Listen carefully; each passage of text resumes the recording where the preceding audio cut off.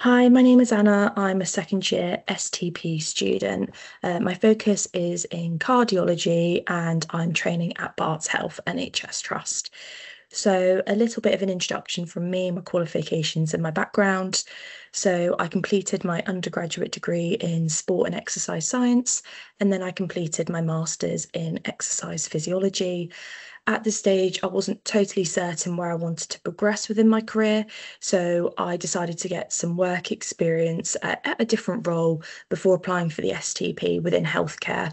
And with this, I was able to build on my clinical and professional experience alongside some leadership skills in the latter stages of this role. However, I would like to emphasise that there is a wide variety of applicants and STP trainees across all of the hospitals. And this really does reflect that there are some individuals who have either finished university looking for their next step, or there are those who are seeking maybe a change in their career or a progression within their career, and the STP can definitely accommodate for all of these.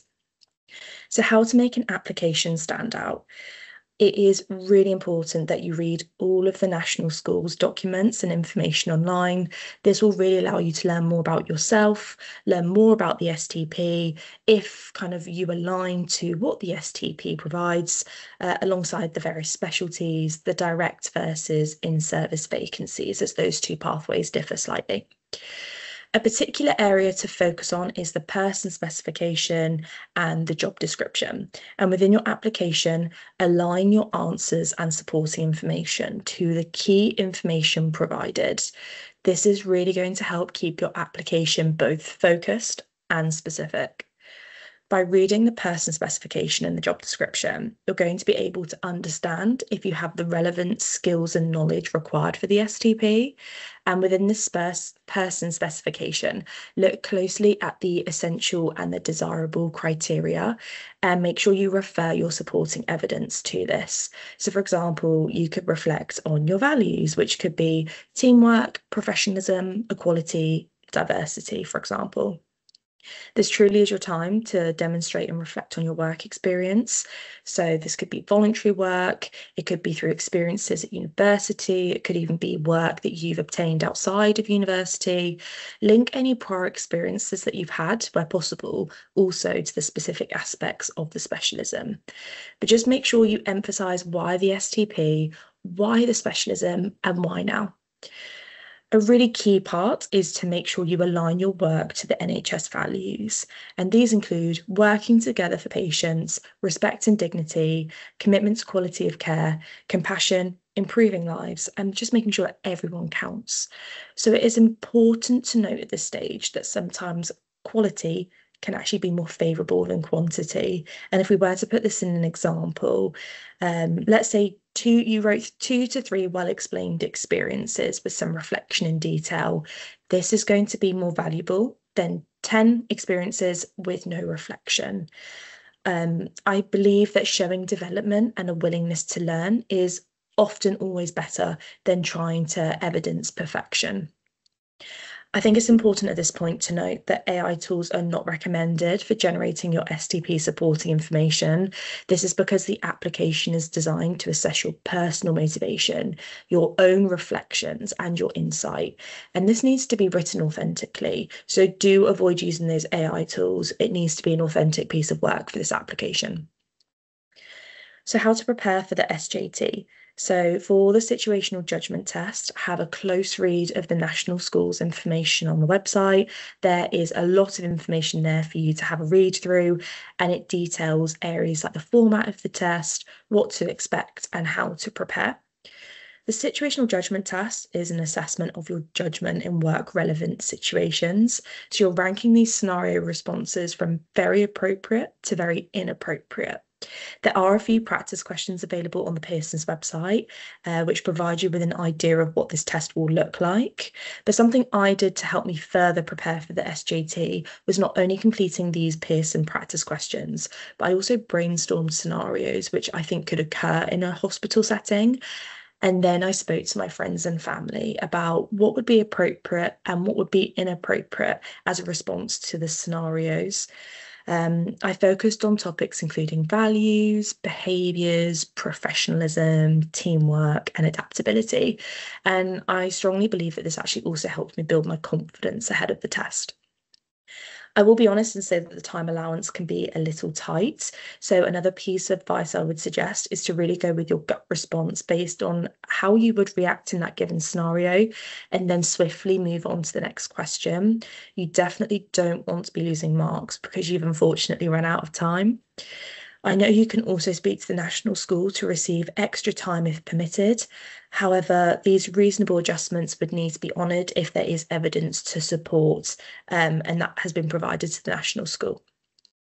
Although there are other resources available online which can help prepare for the SJT, I would recommend specifically just focusing on the Pearson example questions and then the information provided by the national school. There's no guarantee that these external resources are going to be either relevant or accurate for the SJT. So in that sense, it could even I guess mislead you slightly. And they actually also usually come at a financial cost. So my advice would be stick to Pearson's, have a good read on the National Schools website and maybe kind of think of some of those scenarios with yourself, your friends, your family, and think of what questions maybe could come up um, given, you know, the, the questions are, are linked towards hospital-based scenarios. How did I choose my location and did I relocate? So I applied for the London hospitals hiring within cardiology. Um, as I was already living within the area, I ranked my options based on the research on the hospitals themselves within my specialism and where I could see myself working best and what would support my work life balance best as well.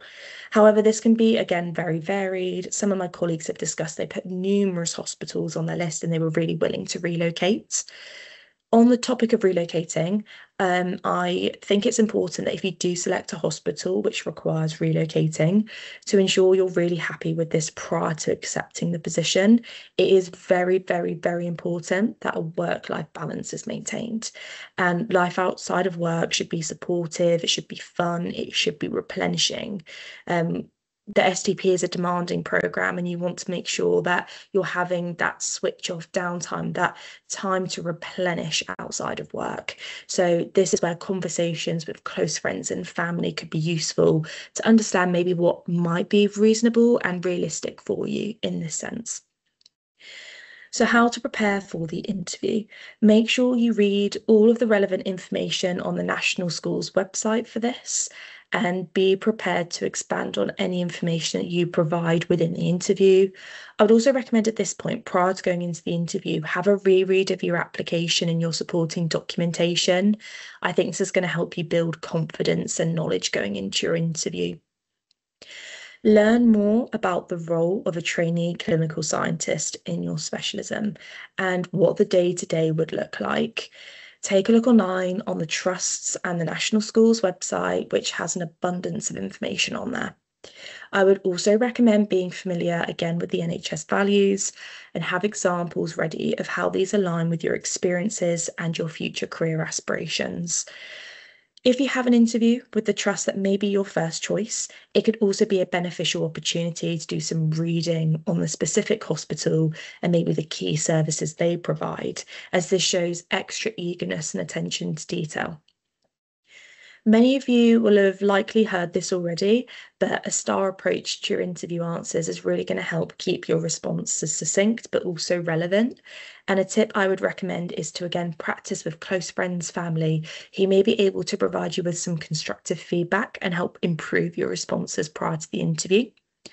But it is important to explain that you are not expected to be an expert. However, it is most likely expected that you will have an understanding of the basic principles around the nature of your specialism and the professional behaviours which are integrated within the NHS values.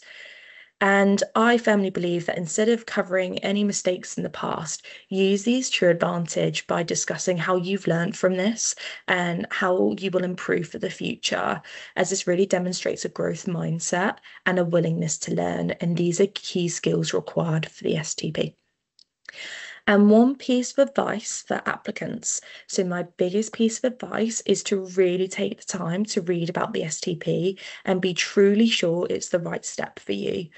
There is an abundance of information online to look into, and this will help you to understand if the program is suitable for you. The STP is a fantastic program with so much learning and opportunity. However, it is also full on and it is a very demanding program. So it's really important to know you're ready for the challenge and you're motivated to commit to it. I hope this video helps and best of luck to all of you applying for the STP.